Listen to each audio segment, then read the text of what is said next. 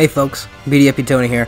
Um, just a quick little thing. If you're one of the 87% of viewers that aren't subscribed, maybe think about subscribing after this video. Uh, you know, I've been getting super positive reviews. I'm going to keep pumping out these videos. So, you know, if you want to support me and help me out, then uh, just leave a like and subscribe, maybe comment. Anyways, I'm just going to show you guys how to get all the fossils. I already did a video kind of on this, but it was a little bit shitty.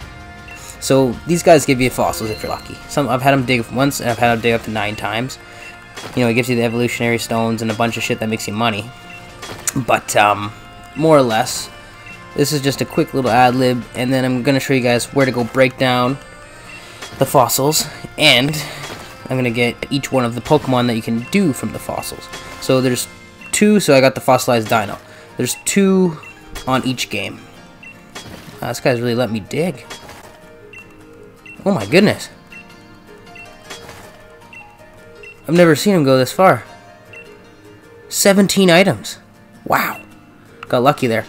But, um, this is what you're going to want to do. You want to open up your map, go to your town map, and how you get these fast travels real quick is you got to talk to the, um, people who have the camps. I think if you just chat with them, they open up a, um, fast travel point.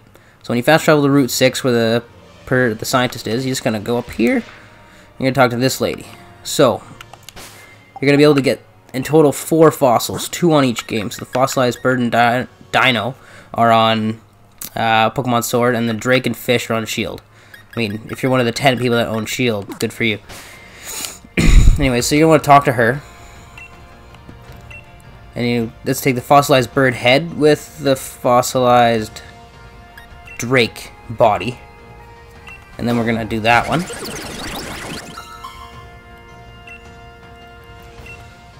So we get some kind of poor Pokemon. Dracozolt.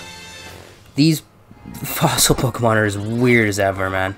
So, an obvious...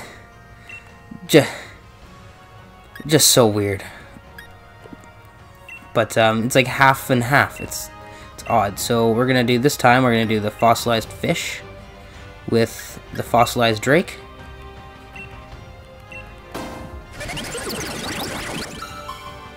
Gonna stick them together, and we get another. We got Dracovish.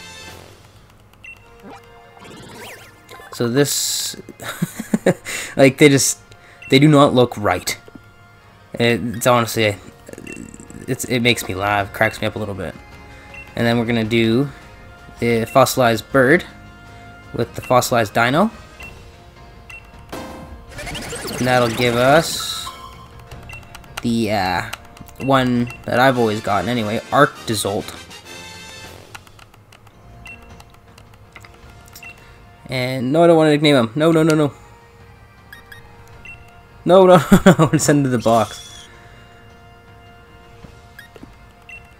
And then we got one last one.